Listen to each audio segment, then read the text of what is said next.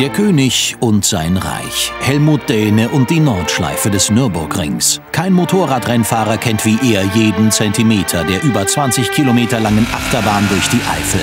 Jahrzehntelanges Feilen an der Ideallinie in 33 Links- und 40 Rechtskurven. Langweilig wurde ihm bis heute nie. Affengeil. Immer wieder neu, immer wieder schön. Bei schönem Wetter ganz besonders. Einfach affengeil. Er ist der unumstrittene King of the Ring. Keiner prägte wie Helmut Dähne die legendäre Nordschleife. Der 63-Jährige ist einer der wenigen, für die der Ring der Himmel auf Erden ist. Für die meisten ist die berüchtigte Rennstrecke schlichtweg die grüne Hölle. Vor 41 Jahren sog das Kurvenlabyrinth Helmut Dähne in seinen Bann. Das erste Mal Nordschleife war im Urlaub. Da war meine Entwicklungsabteilung hier oben und hat äh, die Prototypen für die R75 erprobt. Mich hat man noch nicht mitgenommen, weil man wusste ja noch nicht, ob, ob ich talentiert bin. Ich wusste es ja selber nicht. Und da habe ich mir gedacht, da fahre ich rauf und schaue zu im Urlaub und das habe ich gemacht, noch mit einem Kollegen. Und da sind wir hier die ersten Runden gefahren und das war 1965 im Sommer, da war es ähnlich warm wie heute. Und mir hat diese Strecke so gefallen, dass ich gesagt habe, da muss ich fahren, da muss ich immer wieder her und das ist heute noch so. Die ersten Rennerfahrungen sammelt Däne beim Geländesport. Mit 24 Jahren dann der erste Sieg auf der Straße. Der Start einer außergewöhnlichen Karriere. Von knapp 400 Rennen gewinnt er 126. Dazu kommen gut 70 zweite und dritte Plätze. 15 Mal wird er deutscher Meister. Sein Speed auf der Nordschleife macht ihn zu Lebzeiten zur Legende. Viermal stellt er den absoluten Rundenrekord ein. Zuletzt 1993 auf einer Honda RC30. 7 Minuten 49 Sekunden, eine Zeit für die Ewigkeit.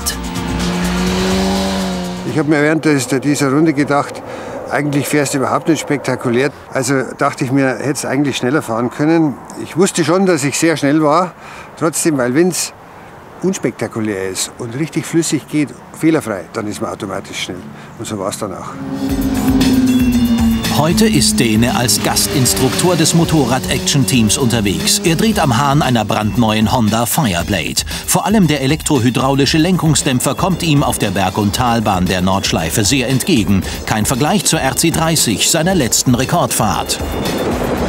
Ja, das sind schon zwei Welten. Wobei die RC30 immer noch mein Lieblingsmotorrad ist, weil es halt die 750 ist, die nicht so viel Leistung hat und viel unproblematischer zu fahren ist auf dieser Strecke als so starke Motorräder wie dieses hier. Da hat man weniger Probleme und fährt deshalb auch nicht viel langsamer. Helmut liebt jede der 73 Kurven. Einige Sektionen haben einen besonderen Reiz.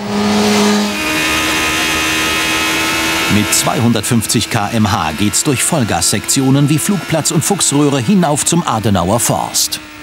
Hier kommt man furchtbar schnell an. Also bei meiner Rekordrunde, da war Data Recording am Motorrad, hatte ich in der Fuchsröhre 249 drauf. Und dann fährt man noch den Berg hoch und lässt immer noch stehen. Und erst vor dieser Linkskurve hier, die über eine Kuppe geht, macht man das Gas zu. Hier zeigt der König dem gemeinen Nordschleifenvolk, wo es lang geht. Dank individueller Kampflinie eine perfekte Überholmöglichkeit. Das habe ich gelernt 1972. Da fuhr ich drei Runden hinter einem her im deutschen Meisterschaftslauf und konnte nirgends überholen. Und da habe ich gemerkt, der fährt hier aus und dann probiere ich es einfach mal innen gerade durch. Und das habe ich gemacht, das hat gepasst, dann war er hinter mir. Weltweit einzigartig das berühmte Karussell, eine Rüttelpiste in Zwangsschräglage. Das Problem ist, dass die einzelnen Platten ziemliche Versätze haben und so richtig, äh, ja, so richtige Kanten drin haben, wo es dann so richtig durchbeutelt. Aber das Fahren in dieser Schräglage an der Wand entlang, das ist kein Problem, wenn man richtig eingefädelt hat.